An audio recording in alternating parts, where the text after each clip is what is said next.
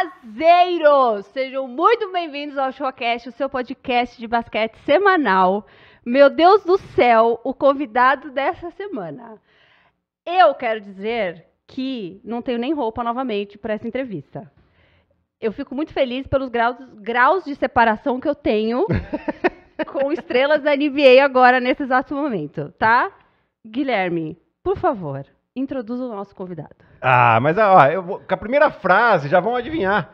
Primeiro brasileiro campeão da NBA. Pronto, já matei aqui. Às vezes as pessoas não sabem. Assistente técnico do Brooklyn Nets. Foi meu companheiro de seleção por muitos anos. É um prazer em apresentá-lo, Thiago Splitter. Seja muito bem-vindo. Muito obrigado. Muito obrigado, gente. Prazer estar aqui. Onde você tá? Agora? Eu estou em Boston. A gente joga hoje contra o Boston aqui Hum, e estou no hotel. Vocês estão É. entendendo? Vocês estão entendendo o nível de importância do ShuaCast? A gente conseguiu pegar o homem no dia do jogo. Só só pra dizer. É isso, e agradecer, né? O espacinho do tempo que a gente sabe que, é, que a agenda é puxada, dia de jogo principalmente, tem que fazer scout do time adversário, preparar, chegar mais cedo pro jogo, mas... Mas antes de você perguntar, só só um pouquinho de tempo. Antes Ah. de, ou seja, vamos conversar o que, que ele tá fazendo lá, camiseta maravilhosa do Nets, meu Deus do céu. Eu queria falar de quando tudo começou, de a gente começar dele jogador. Dele jogador primeiro? Claro, começar a falar um pouco da carreira dele, que, né, que quase ninguém conhece, mas vamos falar mais um pouquinho, como vocês se conheceram. O que, que você acha? É, eu acho uma boa, só que, assim, a gente vai ter que Ah, não, acelerar, né? Acelera aí, porque a carreira do alguém- cara é um absurdo, tá? Então... Onde você começou a jogar, Thiago? Conta aí, por favor. Eu comecei a jogar em Blumenau, Uhum. é, no clube de Ipiranga, lá de basquete. E, assim, meu pai já era jogador de basquete, então isso tudo já, né, nasci com uma bola na mão praticamente. Uhum. e tive muito incentivo dele, né? Ele sempre fez uma quadra atrás de casa, botou uma tabela, tudo ele fez sozinho. Então, desde pequeno, o basquete está na minha casa, está na minha vida. E aí, né, fazendo um resumo assim rapidamente, eh, comecei a pegar seleções de base, daí fui para Espanha. Na época o Gui já jogava na Espanha, no Fuenlabrada, então eu lembro disso muito bem. É, Quantos anos fui você pra tinha Espanha quando fazer foi minha Espanha? carreira. Eu fui com 15 anos. Nossa. 15 anos, bem novinho. É, eu cheguei a fazer o teste lá quando eu tinha 14. E, né, eu lembro, lembro, o Gui estava começando a carreira dele na Europa. Então foi é, um momento assim, pô, já tem um brasileiro lá, será que eu consigo fazer também? Era, tinha muitas incertezas, né? Se, se ia dar certo isso ou não. Porque, claro, muita gente falava, não, fica no Brasil, não, vai para um high school dos Estados Unidos, alguma coisa nesse estilo e tal, e, e afinal acabei assinando um contrato É exato, porque é muito legal. As pessoas, os chazeiros que seguem a gente, têm mais ou menos essa idade. Às vezes alguns são mais novos, outros são mais velhos. Mas muitos já começam a pensar sempre em draft, sempre em NBA, né? Então, assim, é legal também contar a história que você veio da Europa mesmo, né? Você foi pra Espanha, você fez a sua carreira Sim. inteira lá. Jogou pouquíssimo basquete, gente. Pouquíssimo. Sim. Menino, menino humilde. E draft, E aí depois Gabi, você foi, né? naquela época, É, é, era uma coisa muito assim fora da nossa realidade. sim. Tipo assim, basquete NBA naquela época não tinha muitos europeus, era um que outro aqui, um estrangeiro, eram poucos. E a maioria dos caras que estavam na NBA eram caras que jogaram college. Uhum. E daí aos poucos os europeus foram abrindo essas portas, né? Tipo o Dirk Nowitzki, o Paul Gasol. Isso foi tudo quando eu estava chegando na, na Espanha e foram abrindo essas portas. Ó, eles pegaram um cara que jogava na Espanha, o Paul Gasol. Então eu já fiquei, pô, será que eu consigo fazer uma coisa parecida, né? Crescer dentro do basquete europeu e depois ir para lá? Claro que era um sonho, tudo era um sonho para mim, né? Uhum. E aí aos poucos começou a virar uma realidade e já um objetivo, né? Entendi. Ah, legal. E, e, e Ti, daí é, conta um pouco pra gente também é, daquela da transição. É uma história sempre muito legal que, que, que você conta. É, e por mais, né? Acho que é sempre bom contar de novo. Quando você sai da Europa, você é uma estrela da Euroliga. Né? E aí você vai para o San Antonio Spurs e acaba não tendo, a princípio, né? depois você tem um papel super importante, até mesmo no, no, no título do San Antonio Spurs. É, mas no primeiro ano, você a, acaba não, não tendo tanto espaço com o Popovich. Né? E essa é uma história que sempre conta pra gente, eu acho legal se puder compartilhar de novo. Sim. Sim, eu cheguei, né, em San Antônio, como você falou, sendo o melhor pivô da Europa, por dois, três anos seguidos. Né? Eu chego no San Antonio, eu sabia que tem Tim Duncan no time, obviamente, né? é o meu ídolo de, de adolescência. Eu chego lá para jogar junto com meu ídolo, mas assim, sem medo nenhum, né? Respeito, mas sem medo nenhum. Eu ia no treino e atacava ele e tal, fazia cesta e tal. E eu me sentia que estava bem. Até que um dia ele fala assim: não, não, a gente não quer fazer isso, você vai fazer pick and roll, vai fazer isso. Ele começou a cortar as minhas asinhas, né? Tal, tal, tal.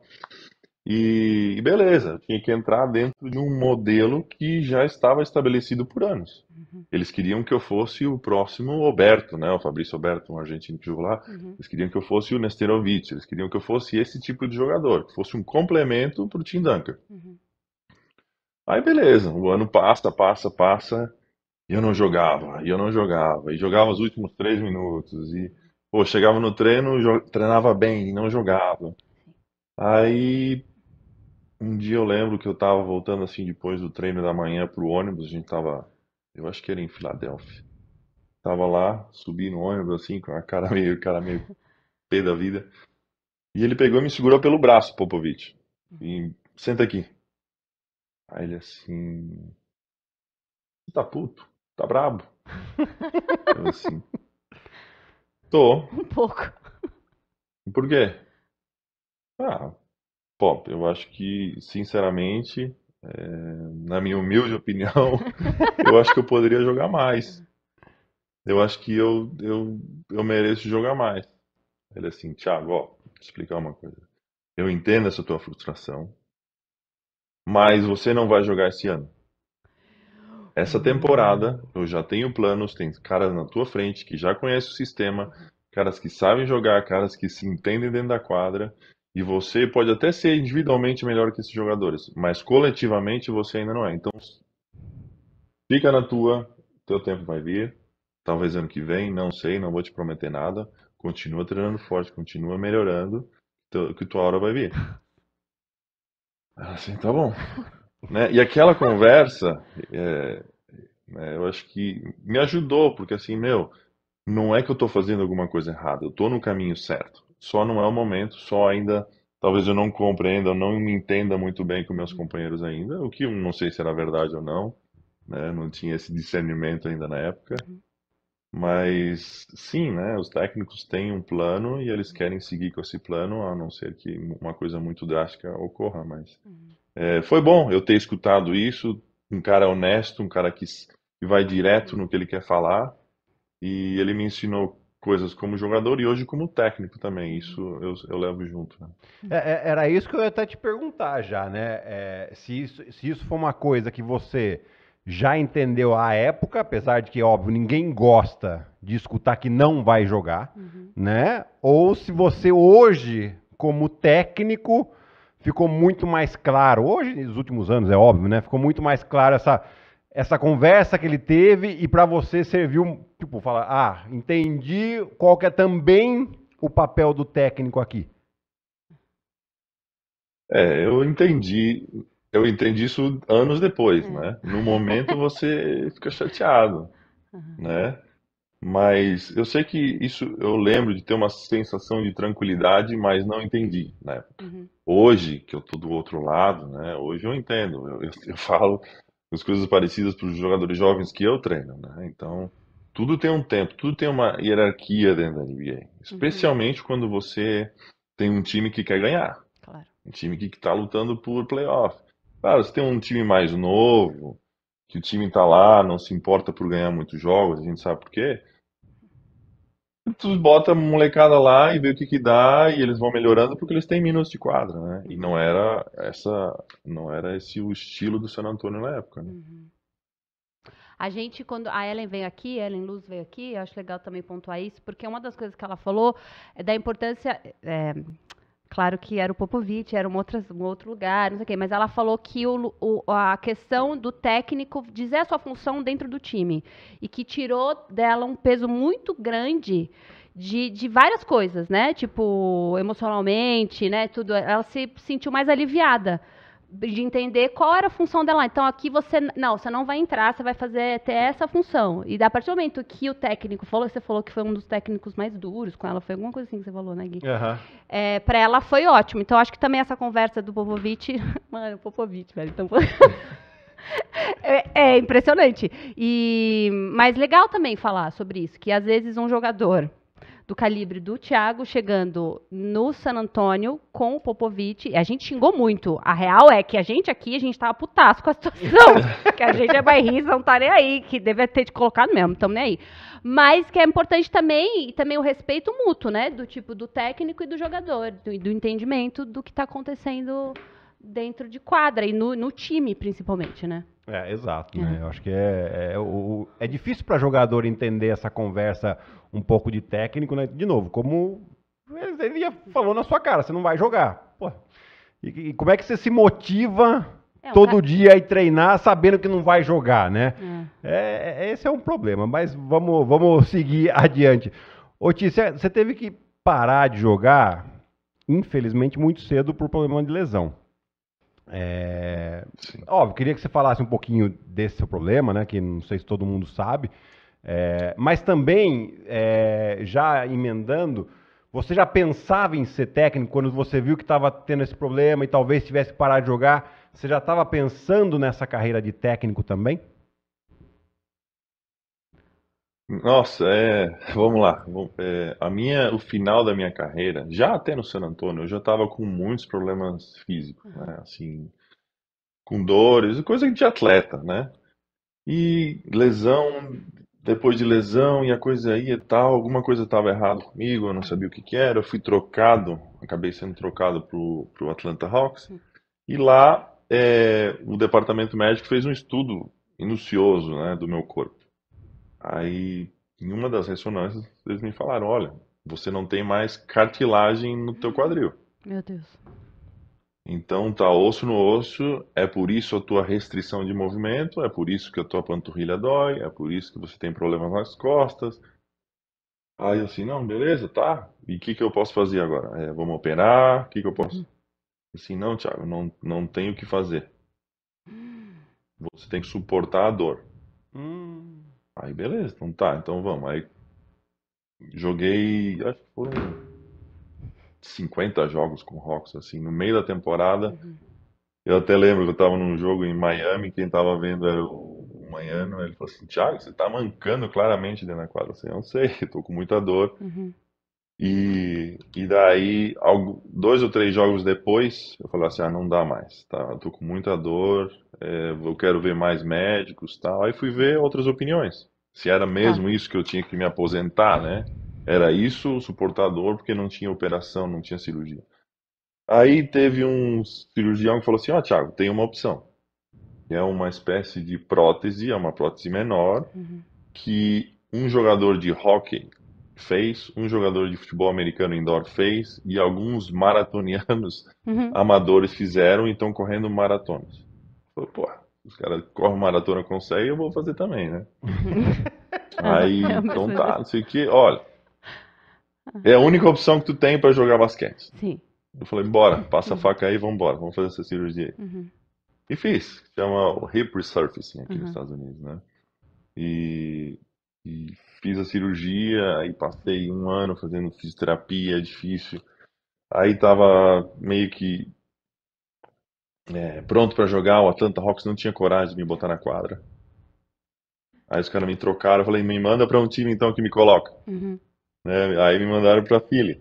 A Philly falou, não, não, a gente te coloca, mas você tem que jogar com a D-League. Não tem problema, bota, eu vou jogar com a D-League. Uhum. Fui pra D-League, joguei lá um jogo, voltei, joguei oito jogos com com esse, com esse implante, né? Enfim, durante todo esse tempo eu começava a pensar, meu, minha carreira está acabando, o que, que eu vou fazer? Né? É, eu tenho que pensar, a tua cabeça começa a, a dar voltas, né? Sim. Meu, isso aqui eu tô no final do túnel, eu tô vendo ali, eu tenho que aproveitar esse tempo que eu tenho, mas está chegando no final. E eu nunca quis ser técnico. Eu sei medo, não, técnico não, muito chato. Não, não, eu, eu vi os técnicos que eu tinha antes, né? Assim, eu, eu, eu me comparava com os técnicos da Europa, os técnicos de seleção. Eu não quero ser técnico de jeito nenhum, só dor de cabeça, não, não. Aí você começa a ver tudo isso de uma forma diferente. O que que eu sei fazer? Eu entendo de basquete, eu dediquei minha vida inteira pro Ah, o basquete. basquete, né? Tem que É. ser alguma coisa relacionada ao basquete. Uhum. Ok, aí eu me aposento em 2017 e eu começo a ver coisas o que fazer. Aí eu tive uma reunião com o Sean Marks, que, que era meu ex-técnico, né, no, no Spurs, Uhum. e naquele momento ele já era o, o, o GM, né, o General Manager do Nets. Uhum. Aí eu tive um almoço com ele e falou assim, ó, cara, o que que você recomenda eu fazer? Você acha que eu deveria estar mais na parte dos escritórios, do front office, mais na parte técnico na quadra? Como é que você me vê? Ele assim, Thiago, você está passando pela transição que eu passei Uhum. na no mesmo momento que você. Por que que você não vem para Brooklyn e você fica um ano, metade do dia no no- na quadra, metade do dia no, no escritório? Aí Ah, você decide legal. o que você quer fazer. Legal. Então eu fui meio de estagiário para lá, entendeu? Uhum. Então, meu primeiro ano No no Brooklyn, Nets, né? né? Eu fui de estagiário e eu tava chama, lá em todas as né? reuniões. eu- Aí eu tava assim, de manhã eu pegava, passava pe- pegando rebote pros caras, tava ali, passava, é, tava nas reuniões dos técnicos, discutindo as estratégias do jogo, Uhum. e de tarde acabava o treino, eu ia pro escritório e ficava Ah, e qual foi as- o mais legal?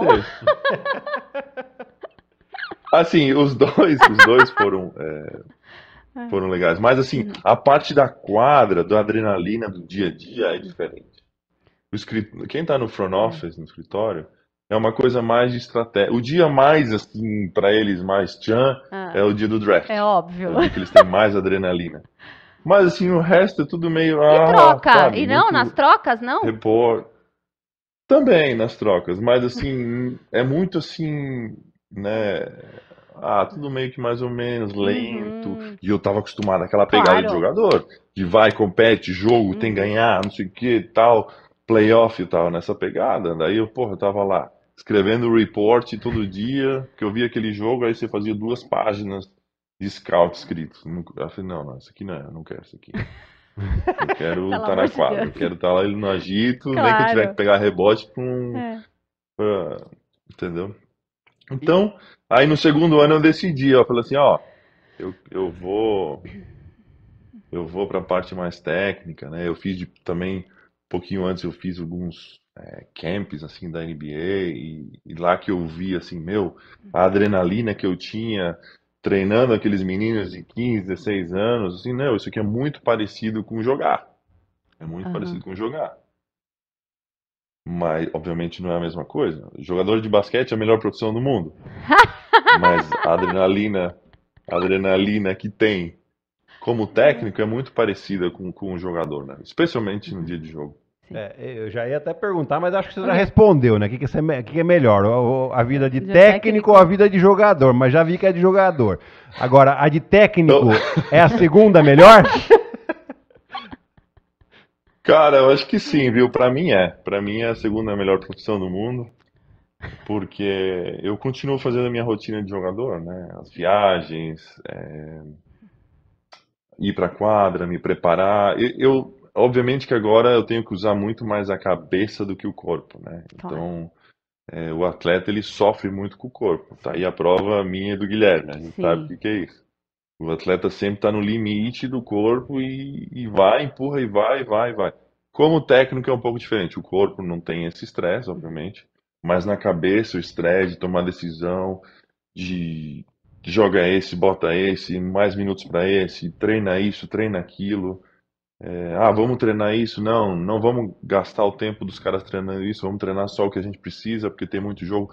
Todas essas decisões são tomadas diariamente, né? Uhum. Obviamente que sendo assistente é mais fácil. Claro. Eu vou dizer isso. Porque a gente, eu só dou opinião, eu não tenho que tomar decisão. Então, é a parte do técnico que é o mais difícil, né? Você tem que tomar a decisão final com 10 opiniões diferentes dentro da sala. E quando, é quando precisa, você ainda entra na quadra para fazer uns treininhos ou, ou, ou as dores não permitem? Não, assim, às vezes eu entro, principalmente quando é uma coisa assim, meia quadra tal, eu tenho que fazer meio que um, um sparring lá, né? Ou no ataque ou, ou na defesa, a gente faz alguma coisa assim, meio que meia boca. Obviamente não tem mais a velocidade, explosão. Eu já nunca tive, né? Treino, Mas, Deixa quieto. deixa mas a gente brinca de vez em quando e Hum. tal, é, faz parte.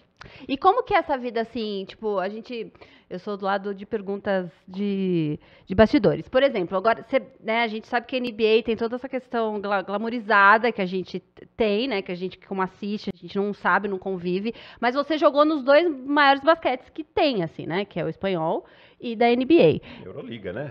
É, euro, é espanhol, europeu e, e a NBA. E aí eu quero perguntar, qual que é a diferença pra você? Tipo, que, quais que são as as diferenças, diferenças, sei lá, de, de, de- treinamento? Não precisa ser nada técnico, mas assim, de ambiente. Que que, que que para você, como que foi essa transição Europa, Estados Unidos? Não só como jogador, é, principalmente como jogador, né? Porque você não foi técnico Sim. ai- ainda. Ah, e a diferença é, é grande, É? é grande. O basquete europeu, ele é um basquete mais puro. Uhum. Ele é um basquete mais organizado, ele é um basquete sem tanto físico, Sim. mesmo que ultimamente isso está mudando um pouco, Uhum. mas é um basquete muito mais controlado, um basquete com menos espaços. Uhum. E, e a vida de jogador, ela é, pelo menos na época que eu estava na Europa, era muito mais treinos Sim. Foi um do choque? que na NBA. Então você. Ah, sim, foi. É. Foi um choque. É, mas assim, eu acho que cada um faz o melhor dentro Claro. da sua área. Por exemplo, o jogador europeu e o técnico europeu, eles sabem que eles têm que jogar aquele estilo de basquete para ganhar na Europa. A NBA, você não consegue trazer um estilo europeu e botar, fazer um jogador americano jogar no estilo europeu. É muito difícil, Uhum. né? E, e aí existe também uma tendência a usar muitos os números na NBA. Quando eu jogava na Europa, eu não, não existia consciência de números, de PPP e não sei o que, não Uhum. existia isso. Era, era mais uma coisa de o olho, Uhum. ah, isso é uma boa jogada. Ah, isso é isso, tá? É muito mais um achismo e uma coisa tradicional do que quando eu cheguei na NBA, não, é tudo números. Ó, se a gente correr rápido pro contra-ataque, é muito mais. A gente tem muita mais oportunidade, muito mais chance de ter uma bola sozinha, uma bandeja. Ou um tiro, um arremesso de três sozinho. Então, tudo isso nunca foi falado na Europa. Ah, você tinha que jogar com intensidade, correr, fazer bloqueio Sim. rápido? Sim. Mas se você chegasse pimbando uma bola de três no contra-ataque, você ia pro banco, cara. Você ia pro banco. Hum. Sim. Na hora. Aqui é um- o técnico. Boa bola, entendeu? Então, essas coisas são muito diferentes, cara. Sabe? E para muitos puristas Aham. europeus que veem o jogo da NBA, "Não, isso não é basquete, não sei o quê. que isso aqui." Uhum. Eu entendo, eu, eu, eu participei, eu estava dentro da cabeça de um europeu e eu tava dentro da- Aham. eu estou dentro da cabeça de um americano, eu sei como é que funciona. Uhum. O europeu vê um jogo de basquete, ah, tá uma pelada, velho, pelo amor de Deus, chega pimbando. Mas é essa diferença, existem jogadores que estão acostumados a chegar e dar esse pull-up de três, eles Uhum. treinam essa bola, é, não é uma coisa assim fora do normal, né? Então, Uhum. é um estilo e uma forma de ver muito dife- diferente. Entendi. É, tem também, né, Ti, que, é, claro, na Europa você tá um fato, da- a quantidade de jogos, né? Então, na, na fase de classificação num- numa Liga CB, são 34 jogos. Uhum. Então você não tem muita margem de erro. Você não pode, por exemplo, perder um jogo, você como Barcelona, Basconia ou Real Madrid, você não pode perder um jogo em casa pro Fuenlabrada, que eu amo de paixão Fuenlabrada, todo respeito, mas você não pode se dar o luxo de perder um jogo desse. Na NBA já não. Com 82 jogos, você tem essa margem, né? De, de, de- beleza. É, e uma coisa que eu percebi, por que eu tô falando isso, né? Porque é, como o, o training camp de vocês, ele é curto, né? Porque você tem ali duas, duas semanas, vocês já estão jogando, né?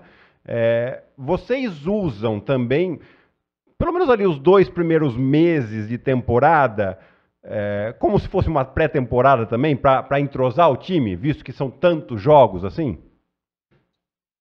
Sim, também faz parte, né? A gente, a gente usa os jogos e, e os vídeos para ir melhorando o time, porque você não tem tempo para treinar, porque você vai de um lado para o outro, você tem viagens longas, você tem noites sem dormir, você tem. É, então, os jogos, os primeiros jogos, fazem parte disso. E outra coisa que muda muito na NBA são teus companheiros. É, existem trocas, existem. É, é, um, é uma. As, né, os rosters, os times são muito mais flexíveis do que na, na, na, Europa. Na Europa, você começa num time, você sabe que você vai terminar lá.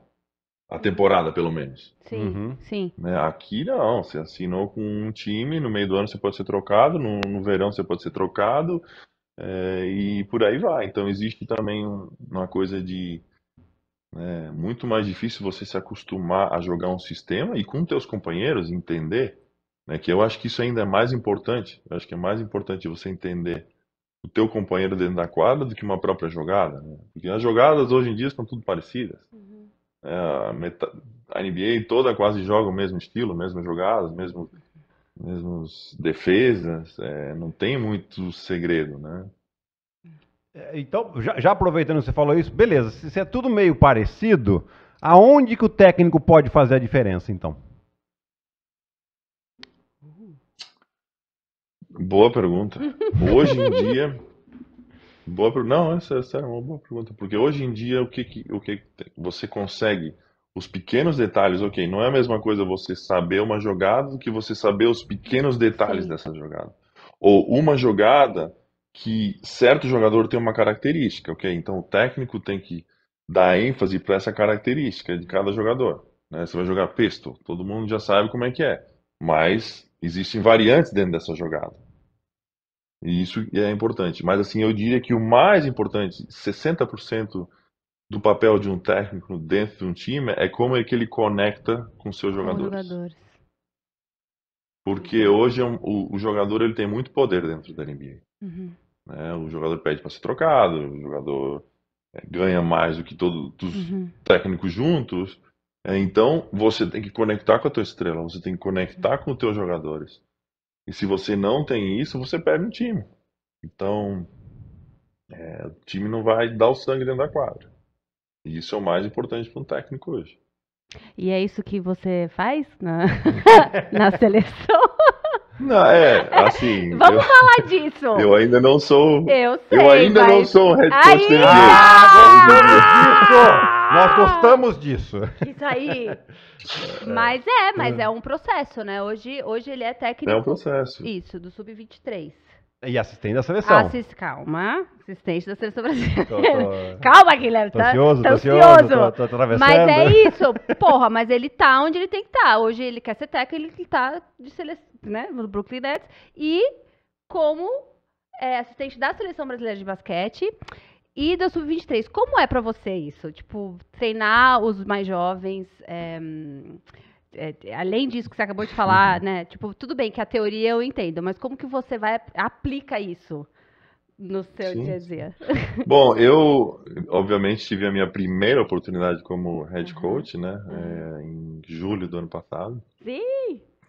E foi uma experiência incrível para mim. É, sempre yeah. é legal você ser o líder uhum. de um projeto, de um time, de uma seleção. Sim.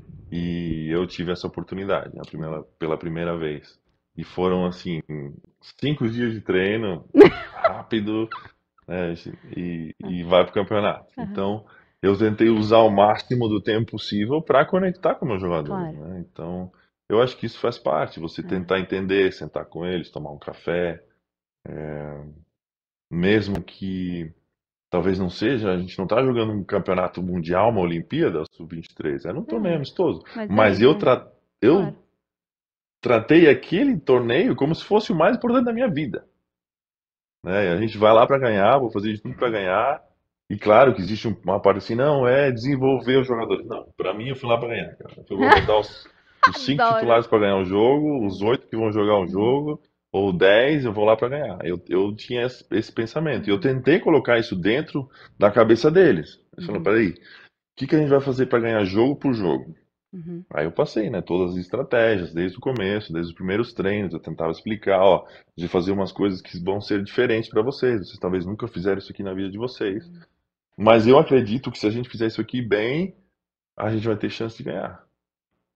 E, e se eu não tô convencido disso, É, não- como que eu vou passar isso para meus jogadores? Então, essa Exato. conexão, você falar o dia a dia, almoçar com eles, é, o que é, cara, eu vou te falar que uma seleção com esses meninos para mim foi tão gratificante Hum. porque eles deram a vida, cara. Eu falava assim, meu, corre contra a parede e dá tua cabeça lá. O cara iam, cara. Né? Então, isso foi uma satisfação muito enorme, né, de poder ter um grupo de jogadores, um grupo de garotos, sub-23, que deram sangue lá e, e- e a gente acabou sendo campeão. E que tipo de técnico é o Thiago Splitter? Porque você, né, você passou desde Dusko Ivanovic, que era um Ixi. generalzão, até o Monte Monsalve que a gente treinava escutando música.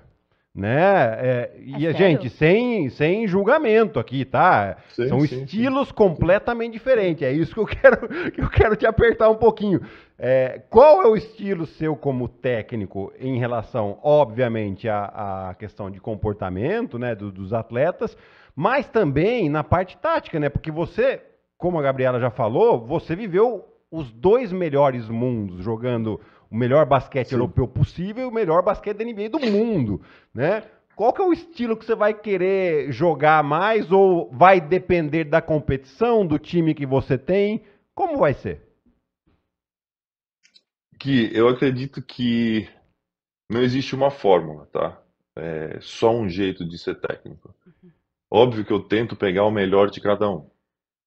E, por exemplo, eu não, eu não vou ser um Dusko Ivanovic que vai lá dar, quebrar os caras em cinco dias e fazer a vida deles um inferno.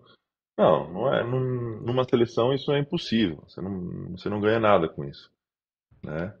E óbvio que eu não vou ser um cara que vou ser passivo e vou deixar que tudo aconteça e, e, e, e não tem nenhuma, né, nenhuma, nenhum problema com isso. Mas eu acho que eu fui um cara assim bem tranquilo nessa seleção. É, um cara que tentou conectar com os jogadores, como eu falei. Eu dei alguma que outra bronca, mas nada é, muito fora do comum. É, em questão de estratégia é, dentro do jogo, acho que quando você tem cinco dias só para preparar, você não consegue colocar muitas Uhum. coisas. Também é difícil cobrar uma perfeição de um time quando você tem poucos treinos, né? Então, uma seleção, isso você tem que saber lidar, né? Porque não vai ser perfeito, você não vai ter 50 jogadas, você vai ter cinco, Uhum. e essas cinco têm que ser bem feitas, né? É, E, e outra coisa que é muito importante é você conhecer o teu atleta, como que ele é, como que ele lida com esporro, como que ele lida com elogio, o que que é melhor para ele. Às vezes é melhor um uma mão no ombro do que um esporro, é, porque o atleta sabe quando ele erra. Ele não é bobo. A não ser que seja uma, uma situação nova para ele, mas o jogador sabe quando ele erra. Então, eu acho que depende, né? Quem que é o Thiago como técnico? Eu sou um camaleão, eu tenho que me adaptar ao grupo Não, e à mas- competição. mas o legal também é que você jogou, né? Você, tipo, você, você sabe também Sim. o que é. O, eu não sei se isso faz a diferença. Eu acredito que faça, que o técnico. Tudo bem, eu sei que tem técnicos que nunca jogaram e que são excepcionais. Mas acho que exatamente isso de você saber o que, que, que, acontece dentro de quadra, saber exatamente o que esses meninos já passaram ou que estão passando, também ajuda, né? Tipo, já é uma forma de. de- é mais fácil para você ter esse entendimento do que uma pessoa que nunca entendeu as frustrações de estar dentro de quadra e as coisas não darem certo, também as alegrias, enfim. Ajuda. Falando nisso, Gui, me fala aí, já vou fazer, vou fazer uma pergunta para você agora. O que que você acha bom num técnico, o que que você acha ruim num técnico? Ixi! Cara, eu. Botei contra a parede agora. É... Você viu que ele tá ligado, né? Não. Ele tá pegando informações, entendeu? É ele é certíssimo, certíssimo. Ele já tá assim, malandro. Aqui, ó, me deem. Não, tio, eu assim, eu concordo com você assim no, no fato de o, principal é você conhecer o seu jogador em todos os aspectos, no, no aspecto é, físico e técnico para saber o que ele pode te dar em quadra, né, de eventualmente uma pressão em jogador, pressão no adversário, é, tecnicamente. Ele tava anotando. Quem tá escutando o podcast, ele tava pegando a canetinha anotando. Eita. É, e, e aí é óbvio, na parte técnica, para você saber o que você vai exigir dele, né? E na parte psicológica é exatamente isso. Ca- Cada pessoa teve uma criação diferente, então responde a, a estímulos diferentemente, né? É aquilo que a gente fala. Hoje, a informação técnica e tática, e você sabe 10 vezes melhor que isso, porque você está todo dia estudando números aí, por, por questão de scoutear os adversários, essa informação ela está disponível para todo, todo mundo. É. A questão é como você usa essa informação a seu favor e a favor do seu jogador. A como colocar é, isso a favor do seu time. né? Então, eu acho que a grande habilidade do técnico hoje é essa relação humana. Né? De, de você entender, ah, esse aqui funciona com esporro, então já esse aqui eu posso apertar um pouquinho mais. Esse aqui, se eu apertar, ele vai espanar. Não, não posso. Então, é, é difícil, cara. É difícil. E por isso que eu falo, técnico, olha, ó, eu tiro meu chapéuzinho aí pra É. quem Tem que Qual foi os psicólogo. melhores, os melhores tec- é, exato, psicólogo. Quais É. foram os melhores tec- técnicos que vocês já tiveram? Ah, vou deixar o convidado responder primeiro. pra- pros dois. Pode dar nome, gente. Isso não quer dizer que você goste menos dos outros, mas Não, eu vou dar, mas deixa É. o convidado responder primeiro, né? Não, eu acho que assim, pela circunstância, pelo tudo, é o Popovich, né? ele é Um legalzão. cara que tá há anos, Eu gosto muito o dele. pop, né? Mas assim, tive grandes técnicos, cara. Eu vou te falar assim, né? Hoje pensando, a gente fala do Ivanovic, né? Ele tinha as coisas assim ruins dele, né? Esse negócio aí de fazer tua vida impossível. Mas por outro lado, ele tinha uma exigência que me fez ser uma diferente, uma pessoa diferente, cara. Uhum. É, tem coisas que eu mudei na minha vida por causa dele. E eu continuo levando isso pra frente. Claro, hoje eu tenho um quadril de metal, tudo bem. É, Olha, hoje eu Mas, é, não, não tenho mas assim, e tudo, né, cara? Você sempre tem aquele primeiro técnico da seleção que te dá um apoio. Por exemplo, o Lula, você tem o, o Hélio Rubens que me levou para a seleção adulta, estava junto com o Gui lá. Então, tudo isso te dá um- uma diferente perspectiva. Todos eles tiveram coisas boas, né? Você, você mencionou o Monsalve, que veio depois de uma época né, do Lula e tal, trouxe uma coisa diferente. Então, todos eles é, adicionaram algo para minha carreira. né? E você, Gui? Ah, eu, ah, eu, eu também tive, assim, e assim, o, o Monte, né, e, e até tive algum, alguns problemas com o Monte durante a seleção, mas é, é, eu- ele foi um ótimo técnico pra gente ali. A gente, eu acho que foi um dos melhores basquetes ofensivos que a seleção, que a nossa geração jogou, né, inclusive a gente foi campeão lá da Copa América, é, eu tive o Messina, o Messina foi seu técnico também aí em San Antônio, né, como assistente do, do Popovich, ou não? Foi, só que ele estava num, num, né, numa coisa muito diferente. Ele era assistente, então ele não era o Messina que a gente conhece. É, então, o Messina é um Ele terror, tava mas assim, pianinho lá. é, eu imagino que ele tenha ficado pianinho e tal, porque uma, ele, ele é tudo, mas ele não é burro, né? Aliás, pelo contrário, ele é muito inteligente, né? Mas ele é muito duro. Ele, assim, é daqueles... é, Eu não digo que é na linha do... do bom, eu, não, eu não- joguei com o Dusko, a gente escutava muita história, né, com o Ivanovic. É, mas, assim, não é na- na- nessa linha de sei lá, acordar às 7 horas da manhã, vai correr em jejum, volta, café da manhã, treino. Não, ele, ele tinha o planejamento dele, não que isso não fosse o planejamento do Dusko, mas era um planejamento mais, entre aspas, normal. Mas ele era muito duro em questão de exigência. É, ele tinha, assim, os titulares era um jeito que ele tratava, os reservas eram outro. Uhum. Né? Os mais velhos eram um jeito, os mais novos eram outro. Né? E, então, mas, cara, assim, que técnico. que técnico, assim, Mas tipo, você vê isso de- agora. né? É, lógico, agora, com, com 42 anos, parei de jogar, você olha pra trás e fala, hum, olha.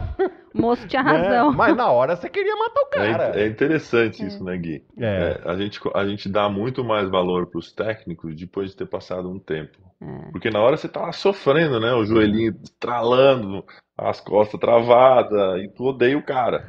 Mas passa uns anos, cara, e tu vê, nossa, esse cara era bom, esse cara É. me fez melhor. É. É, e assim, até eu, particularmente, né, eu gostava do Ruben também. Ele também tinha as coisas dele, meio. é, no começo, principalmente, quando ele não, não confiava em ninguém ali, era. Cara, era treinamento em cima de treinamento e, e- e jogador machucando e ele não parava. E não parava. Mas, cara, tipo assim, você pode falar o que for, mas no- a nossa seleção ali com o Ruben tava preparado para qualquer coisa. tipo, vinha, vinha os Estados Unidos com, com- com- com os caras. Não, a gente tava ali, firme e forte. Depois o resultado vem ou não vem. Mas assim, uma coisa a gente tava sempre muito preparado. Então ele também teve a sua parcela. Eu acho que tivemos, né, ao longo de quanto? 20 anos de carreira, né, Ti? A gente passa aí por mais de 15, 20 técnicos. E como o Thiago falou, a gente aprende desde o. Né, a gente vai ter todo mundo terá o pior que considera na cabeça, mas desde aquele pior, alguma coisa a gente aprendeu Ah, com, com ele. certeza. Né? E isso a gente leva pra carreira também. Pra vida, aliás. E qual foi o melhor jogador que você já jogou? Que teve. No time eu já devo No saber qual que é. Eu já devo saber, mas tipo, e também contra. Ah, assim, do meu time, obviamente, acho que é o Tim Duncan, né? Que ele faz parte dessa Aham. história aí de 20 anos de Spurs no, no topo do, do basquete mundial. Adversário, cara. ah, assim, eu não joguei contra o Jordan, mas eu joguei contra Você o já viu LeBron o e Jordan? Kobe. Você já viu o Jordan? Já vi o Jordan. Passei assim no corredor, tava me coçando pra tirar uma foto com ele, mas não, É. mas não fiz. E assim, é Kobe e LeBron, os dois. É difícil falar quem que é melhor, eu acho que é, tá aí o debate, né? Mas é, esses dois, assim, o Kobe eu já peguei ele um pouquinho no final da carreira dele, né? Então a gente ganhou dois playoffs contra ele, eu não- se eu não me engano. Um ele estava machucado. Sim. Então já estava no final da carreira. Na seleção a gente jogou contra ele, né? Nessa, no, acho que era em Las Vegas, né?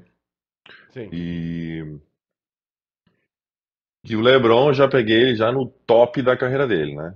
Assim, É, no pri... Bom, quando se ele bem melhor que... tava.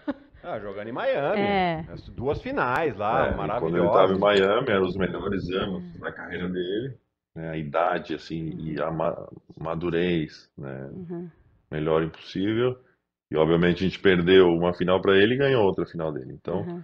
tenho esse, esse orgulho, né? de verdade, ter é ganhado a verdade. final de um dos melhores da história. E eu sou fã dele, cara. Eu sou fã. O cara realmente é um, é um animal, velho. Um robô. O cara é impressionante o que ele faz, o que ele continua fazendo, com a idade que ele tem. E tirar o chapéu pro cara. Ô, Ti, e aquela derrota, né, daquela final. Claro que a gente quer falar da vitória e tal, mas assim, dá vontade de morder o punho, né? Aquela bola de três do Ray Allen. Ah, dá, dá. Não, é porque Ah, aquela não, bola não, de três do Ray Allen é que dá a vida pros caras. Porque, né, acabaram cometendo o erro de perder aquele rebote depois. Uma vez que a bola tá na mão do Ray Allen, que é muito rápido, é, ficou um gostinho amargo ali, né? Que depois é óbvio, vocês. No ano seguinte, vocês não deram chance pros caras. Mas aquela ali ficou um gostinho amargo, não? Porra, um gostinho. Deixa eu te falar. A gente, a gente passou um ano com, com uma mochila de 200 quilos nas costas, cara. Vou te Hum. falar que foi, foi pesado, assim. Te imagina, você, você, você perde uma final do jeito que a gente perdeu e vai pras férias, ok? Vai pras férias, você fica pensando nesse jogo aí.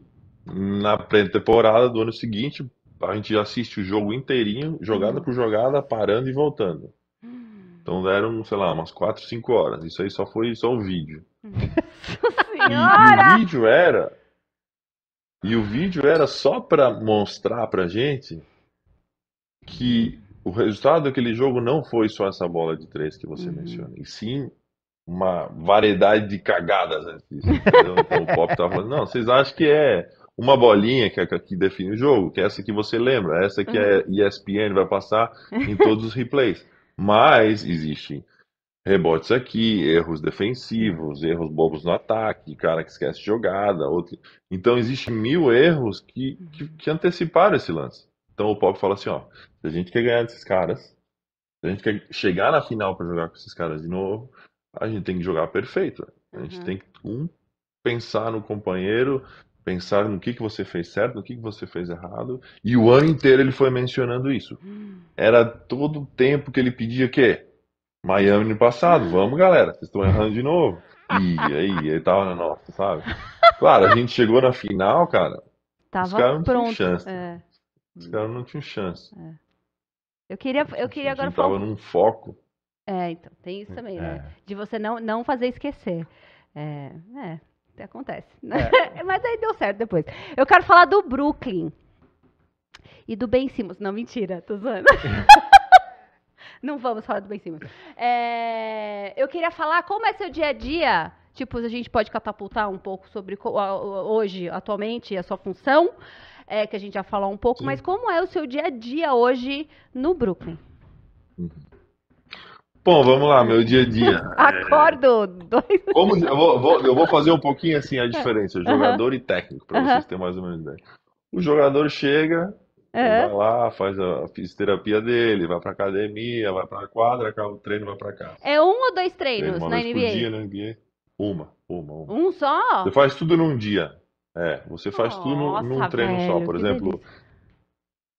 Se, se na Europa, né, que a gente É. sabe, a gente estava acostumado a treinar dois treinos. Então, de Isso. manhã você ia fazer academia, você fazia o arremesso, você fazia um 5 contra 0 ali, as jogadas tal.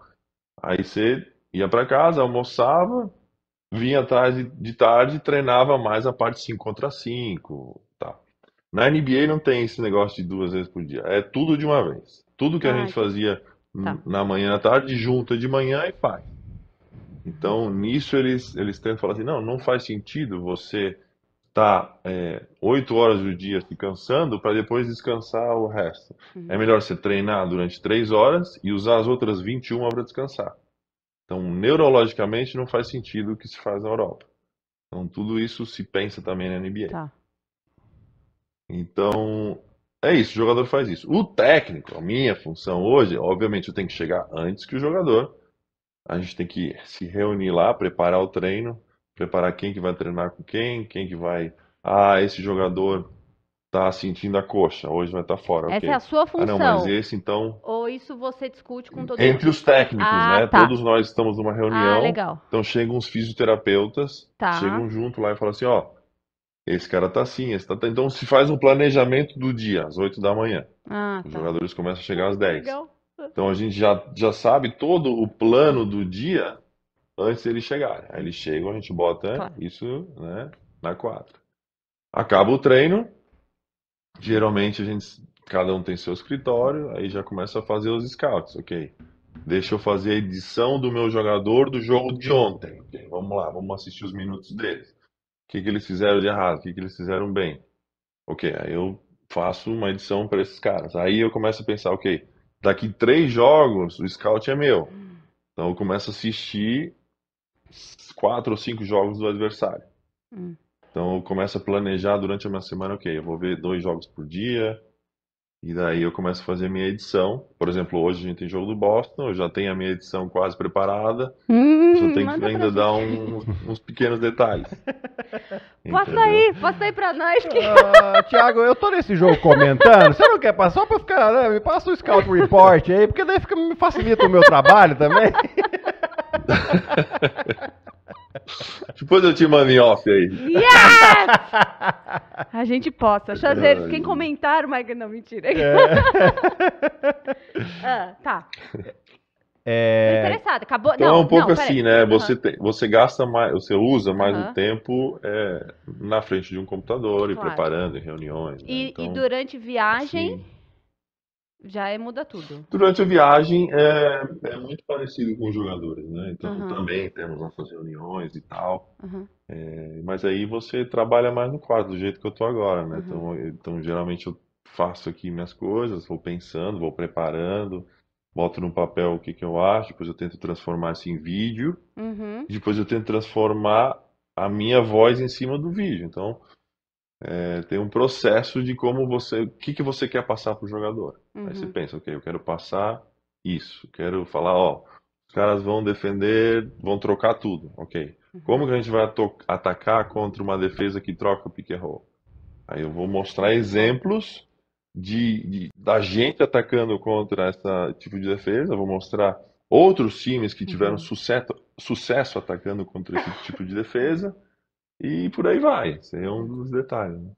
Ô Ti, mas assim, é, é óbvio, você falou isso, é lógico que o seu trabalho ele é muito extenso. E você não vai passar tudo isso pro jogador, porque senão você vai fazer só a sua parte, vai ser uma preleção de uma hora e meia. Como que você né, faz esse resumo é, para que seja uma coisa simples pro jogador, né? É aquilo que a gente sempre fala. Por mais que você tenha mil coisas para passar pro jogador, se você passar mil coisas para ele, ele não vai lembrar de tudo. Você tem que passar. É, a gente tem. aham, sim. A gente tem uma regra que a gente não pode passar de sete minutos de vídeo, né? Ah, boa. Excelente. Então a gente tenta tudo. É... Porque assim, a, a atenção de uma pessoa, ela não passa de 10, 15 minutos. Uhum. O jogador não presta atenção mais que 10, 15 minutos. Uhum. Tu fazer um vídeo de uma hora e meia, o cara não vai pegar nada. né? Vai perder atenção, vai ficar saco cheio lá, escutando e tal. Então tu tem que fazer um negócio curto, é, bem explicado, com bons vídeos, claro, com... E outra coisa, aqui vem a parte dos números, Gui. Aqui quando os números falam, olha, ah, é muito importante isso, isso, isso, mas os números dizem uma coisa, ó, esse time é muito ruim defendendo transição. Ok? Opa, então vamos mostrar vídeos nossos correndo no contra-ataque. Uhum. Como que a gente ataca esses caras? Corre aberto, corre nas esquinas. Pivô, você fica no dunker, na posição ali no cantinho. Tal, você corre aberto, vendo o jogo, cria um túnel, ataca a, né, a zona pintada, a zona, Uhum. passa a bola pro cara da esquina. Então tudo isso você começa a traduzir para os jogadores. Como atacar um time que defende mal a transição defensiva, né, ou ofensiva. Então, isso é um detalhe, né? Uma pequena coisa. Mas assim, os números falam, ó, esse time é bom nisso, ele tem três coisas ruins, tem três coisas boas, geralmente a gente usa. E aí a gente tenta fazer o scout sobre isso. Então, quer dizer, além de você estar vivendo a segunda melhor, melhor, maior profissão da atualidade, você mora, na minha humilde opinião, na melhor cidade do universo. Que eu sei que tem seus percalços, tá? Você mora em Manhattan. você não mora em Nova York, Manhattan. Gente, eu tô falando besteira. Não, Ma- ah, Manhattan. Manhattan. Mora em Manhattan, mora em Manhattan. Meu senhor! Como que é morar em Manhattan? A sua família, todo mundo, me conta. Como que é? Porque agora eu quero saber de fofocas. Ah, é bem apertadinho, é todo mundo juntinho. Ah, é, porque é tudo pequeno, é tudo. É, gente, tem muita É quantas tudo moram pequeno, Manhattan? mas, assim, não existe assim Muito, casas, né? nem apartamentos, assim, existe apartamentos grandes, mas são caríssimos, né? Uhum. Então, obviamente que o bolso sente se você quer um lugar grande. Então, geralmente são são casas pequenas, né, apartamentos pequenos, mas assim, a vida de Nova York é muito legal, porque Uhum. ela, assim, quem morou na Europa sabe disso. Assim, a vida na rua, você faz a vida você faz na Sim. rua. Então você, você tem os cafés, você tem os restaurantes, você tem os parques, as crianças vão para os parques. Então, existe muito esse, esse sentimento de comunidade, coisa Sim. que é muito rara nos Estados Unidos. né? A maioria das, das cidades são mais de subúrbio, né? Por exemplo, eu, eu morei em San Antonio, no Texas, até a própria Califórnia, é, Flórida, então tudo mais, muito mais subúrbio. E Nova York não, é essa coisa mais europeia, de todo mundo morar ali, né? Juntinho. Um juntinho. Meu pai chama de pombal, né? Você mora num pombal ali, tá todo mundo juntinho. E essa é a vida lá. É muito maneiro. A gente Uhum. vai se adaptando também, Claro. porque no começo você se assusta, né? Porque a cidade realmente não para, as sirenes não param, o dia inteiro carro, trânsito. E talvez quem mora em São Paulo sabe como é que é. Eu não Uhum. sou acostumado com isso, sou do interior de Santa Catarina. É. Então, é, a gente não, não- nunca tive isso. E agora eu estou me acostumando à vida de, de Nova York. né? E consegue aproveitar um pouquinho da cidade, assim, né? Porque a rotina é puxada, né? É, durante a, a temporada, quando você tá jog- jogando em casa, é essa rotina que você falou pra gente aí, de, de organizar treino, ah, vídeo, babá. Aí quando viaja, não tá na cidade. Consegue aproveitar um pouquinho? Show, Broadway, né, Gabriel? Brother, já tento. quero saber. Eu tento. É, assim, a minha esposa é que prepara geralmente assim, ah, o que, que vai ter, né? qual que é a da vez, entendeu? Então, Maravilhoso. e, e, assim, a gente sabe quando a gente aproveita mais a cidade? Uhum. Quando vem alguém de fora. Por exemplo, vem minha mãe. Estamos Aí, chegando. ó, vamos Eu conhecer o Guilherme estamos chegando aí já. vamos aproveitar a cidade, gente Thiago, conhece- pelo amor de Deus. É. E aí quando você conhece mais as coisas É, turísticas sim, e tal, né? sim. Por exemplo, a minha mãe veio faz Ah, com tempo aí. A gente foi na Estátua da Liberdade. Eu não tinha ido antes. A gente pegou o barquinho lá, foi lá, tal, tirou uma foto, né? E, e é isso. E aí você vai aos poucos vendo, assim, você passa na frente todos os dias. É uma- assim, a vista, você passa a ponte do Brooklyn de noite, as luzes, é muito bonito, muito legal, né? Você acaba se acostumando com aquilo. Isso ali é algo normal. Mas é muito. No momento que você para e fala, nossa, eu tô morando em Nova York, que legal, é bacana mesmo. Agora a pergunta que te aperta. Qual o estilo de vida você prefere? O europeu ou o americano? ou o brasileiro? Que já que faz, faz muito tempo que você não mora aqui, né? Mais de. São o quê? 23 anos já É. fora do Brasil? Cara, deixa eu ver, eu saí com 15, tenho 38, faz a conta aí. É, 23. 23, é. É, Cara, existem coisas positivas e Uhum. negativas nos dois, né? Uhum. Nos três, vamos dizer assim. No Brasil tem essa coisa afetiva das pessoas que não tem lugar nenhum no mundo. uhum. Não existe. Não sei se é porque a gente está acostumado com isso, mas a minha esposa teve no Brasil agora também. Ela falou: Nossa, é como é diferente isso, É. né? O calor humano, as pessoas, todo mundo é Todo. gente boa, não sei o É. quê. Porra, você chega em Nova York, velho, os caras já, fuck you, nem conhece o cara, né, cara? Porra, os caras tão putos o dia inteiro. É, é outro tipo de vida, né? Caras- Tá todo mundo chegando atrasado, frio, que você falou, né, Gabi? O frio, Aham. vento na cara, Sim. é, Delícia! Estresse, buzina. São estresse. Paulo aqui só pode estar acostumado. tá tudo certo. É. É. Mas aí tem a vida na Europa, que, que é uma vida muito mais tranquila, muito mais pausada, né? A vida Aham. assim, não digo nem de atleta, digo de vida no geral. É, eu morei na Espanha há muitos anos, então é uma vida muito mais. Ah, você tem o tempo da siesta no meio da- do dia, que a cidade para, vira um deserto.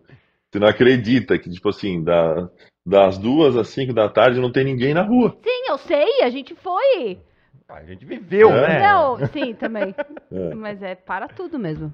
É E, e é outro tipo de vida. E Estados Unidos, assim, pra minha profissão, pra o que eu faço, não tem nada melhor que NBA. Não tem. Não. É. Né? O, como eles tratam a gente, o reconhecimento, a própria grana, né? Uhum. Não dá pra comparar. Mas é diferente. Eu acho que eu ainda tenho esse gostinho, assim, de, de nossa, será que eu volto pra Europa? Eu Vou, sabe, ser Uhum. técnico lá? Tenho, tenho esse pensamento. Hum, já jogou pro Hum, universo, hein? jogou, já vi jogou, que já jogou. jogou pro universo, hein? Daqui a pouco estamos lá. Só- só- E, a- e a, e a história que ele tem com o Bascone é pequena, entendeu? pequeno, então você imagina, nada. né? Ah, oi! É. Oi sumido, né? Mas não oi sumido. Tudo bom, Chazeiros? Se você dava um Google ali no YouTube pra você ver esse menino jogando Nossa no senhora. Bascone. as- Aula, aula de basquete, aula de basquete. É isso? É isso, né? Tá, você já falou qual que é? o- Você já Não, falou? não falei. Vamos pegar ele na, na Ih, surpresa mesmo, então. Thiago, é o Que é o seguinte, quê? é o Surpresa seguinte, do no quê, final do programa, a gente poupou do meio tempo, tá? Porque ia ser meio complexo Ih. jogar stop com você do outro lado do mundo. Mas, no Tá. final de cada é, programa, a gente tem um quadro chamado 24 segundos. São seis perguntas. Uhum. Você tem 24 Ih. segundos para responder cada pergunta. Ih. Quanto mais rápido Ok. você responder, mais pontos você vai ganhar. E no final disso, você vai ganhar Ok. absolutamente nada. Você vai É, só você vai ganhar um parabéns, um muito obrigado. prestígio e muito obrigado por participar. entendeu? No É, máximo é... a gente Tá já bom. pode entrar com os 24 segundos? Aê.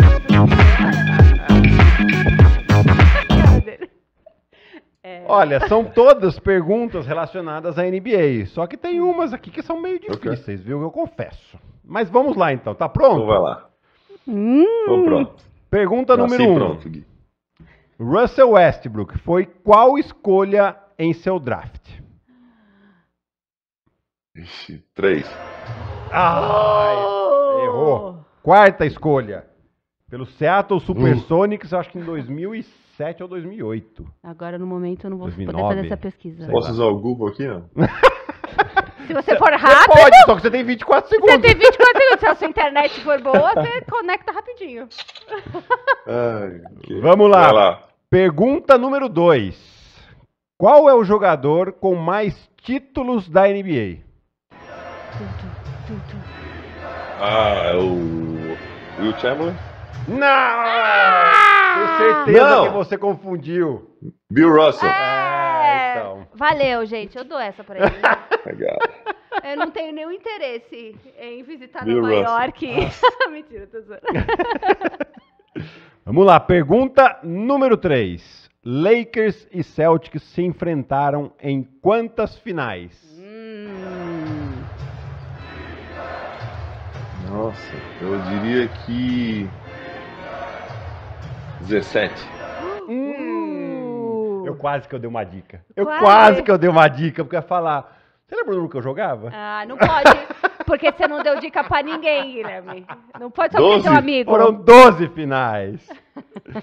Lá, pelo essa- menos eu lembrei do teu número. Esse aí vale também. Ah! Co- Soma aí pontinhos ó. aí, É, vai. porque se não lembrasse, o negócio ia ficar feio aqui, hein? Só que eu digo isso. Pergunta número 4.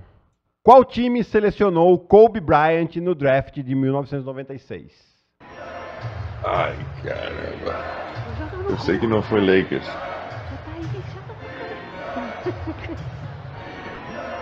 Caramba, bicho. Tenho 24 segundos pra isso.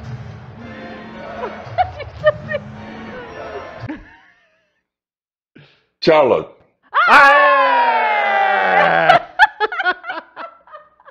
No finalzinho, hein? A gente ainda Acertei? fez- Gente, ai que credibilidade nenhuma. Ó, eu não tô gente. vendo vocês. Se vocês estão dando dica aí, não sei, travou Não, a a imagem gente, a aqui, não gente fez um barulhinho de. A gente fez esse barulhinho de AB, mas se travou, não valeu! Ah. Não valeu, porque ele acertou sem a gente falar nada. Pronto. Vai, última. Não. É, é que essa aqui vai ter um bônus. Ah, tem um bônus. a gente vai fazer um então, bônus você pra é você. especial, Tiago. Você Então, pode. vamos lá, quinta pergunta. Putz, essa é difícil, hein? Confesso, hein? Mas já é a dica, tá? Quem é o maior pontuador da história do Boston Celtics? Peraí. Larry Bird não é porque ele machucou, talvez. É. Não, é um cara das antigas, não é? É. Dá a dica aí. Havlicek ou... Vai, vai, vai! Acertou, acertou, acertou! Valeu, é isso aí! Havlicek, é isso aí! isso? John Havlicek. Você É isso aí, pô. É que tá, o- tem o delay aqui, cara. Pô. Não, acertou. Você foi o único que acertou de essa pergunta. Ela- exatamente, como foi o único que acertou essa pergunta, Vale tem uma dois. bônus agora. Bônus. Que essa aqui, Você você, vai tem que acertar. no... Cara, Em isso aqui... 24 segundos você tem que acertar. Não, 22 eu vou É, dar. faltando dois segundos tem que acertar. Quem é o primeiro brasileiro campeão da NBA? Ei. É. Essa foi muito fácil, tá louco. Mas essa aqui foi um Ah. bônus que a gente te deu aqui. Ah, Quantos pontos, é, Pô. produção? Pera daí, deixa eu saber. 12 pontos, tá ótimo. O seu número, Guilherme. Ah, Como isso aí, vocês se pô. adoram, tá Porra. tudo certo. Pronto, aí, ó. Deixou o Gustavinho e a Ellen pra trás. Pronto. Não importa qual posição, importa que você fez 12 pontos e. Tiago, obrigado pela dispo- disposição, pelo tempo, pelo bate-papo. A gente vai chamar mais vezes, porque agora. Ah, agora. Não, É não, só- não, não. Não, Chama ô, mais vezes, não. não. Produção, organiza a viagem pra Nova York, que nós vamos entrevistar ele lá agora. Assim que vocês forem para os playoffs, assim que vocês chegarem em final de conferência, se chegarem na final da NBA, a gente grava de novo vários podcasts e a gente Nossa, que mais- pressão, hein? Então tá, então vamos gravar. Nenhuma. Tô- não é pressão, é confiança mesmo. tá É isso aí. certo. E a pressão Tá tá no. Jaquivão lá. É isso aí. É, não é, é isso aí. Exato. Muito obrigado. Ti, brigadão mesmo, foi um bate-papo maravilhoso, como sempre é com você, né? Acho que deu pra gente ter uma ideia de como é o seu dia a dia e de um pouco da sua carreira também. Obrigado pela disponibilidade. Não, obrigado a vocês e todos os chuazeiros aí de plantão. Um beijo e tudo de bom aí pra vocês. Muita sorte. Chazeiros, antes de terminar, eu preciso falar para vocês seguirem as redes sociais aqui do canal, seguir as nossas redes sociais, pessoal. Pessoais, as, as redes sociais do Thiago, né? Vai lá no Instagram do Thiago, eu fui, dê, dê dicas, fale pra ele, torça por ele. É, não, não esqueça de seguir as redes sociais da Live Sports. Curta, compartilhe, comente, mande esse link pros seus amigos. E partiu playoffs e final de conferência. É isso? É isso, É, então tá bom. Então Então, tá. é isso. Até o próximo episódio. Tchau, gente.